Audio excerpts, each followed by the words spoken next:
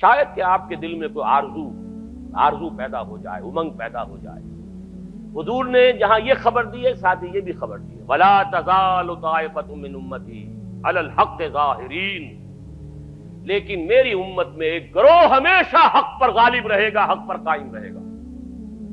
ला यदुर्रहम मन खालफहम। उन्हें कोई नुकसान नहीं पहुँचा सकेगा, जो शख्स भी चाहे उनकी मुखालफत करे। हत्ता याति अमरुल्लाह यहाँ तक कि अल्लाह का अमर अल्लाह का फैसला आ जाए। ये बहुत बड़ी खुशखबरी है।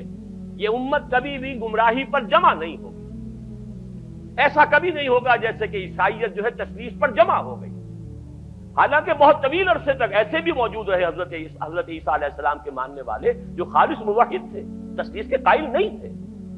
लेकिन ये कि ये उम्मत जिस तरीके से अब वो अब अब, अब जमा जमा हो चुके अब कोई ईसाइयत की डिनोमिनेशन हो, कोई चर्च हो, वो प्रोटेस्टेंट्स हो, वो कोई हो, वो कोई ग्रीक चर्च हो, कोई ऑर्थोडॉक्स चर्च हो प्रोटेस्टेंट्स हो कैथोलिक्स हो, कोई हो, सब के सब, तस्लीस के ऊपर सबके सब मुतफिक तोहीद इनके हाथ से जा चुकी हुजूर ने जो खबर दी है, खुशखबरी, मेरी उम्मत का मामला ये नहीं हो सकता। क्यों नहीं हो सकता? अकलन, आखिरी उम्मत है।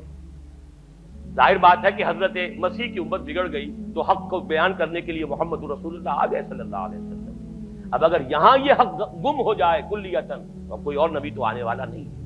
लिहाजा हुजूर को भी प्रोटेक्शन दी गई, हुजूर के दीन को भी प्रोटेक्शन दी गई। और उस प्रोटेक्शन ही का एक पहलू यह है कि मेरी उम्मत में एक गरोह हमेशा हक पर कायम रहे। अल्लाह रबना मिनहुम। अल्लाह ताला हमें तौफीक दे कि हम उनमें से हों। ये आरज़ू तो कम से कम दिल के अंदर पैदा कीजिए, ये उमंग तो पैदा हो जाए।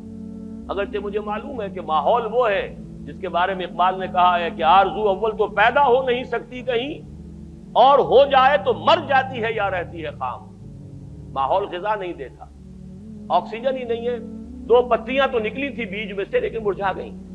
इसलिए कि गजा नहीं इंतज़ार उमंग उठती है, जज्बा उभरता है। उसकी आबियारी का सामान नहीं है, खारजी नहीं है, सारा दाखिली सामान करना पड़ेगा।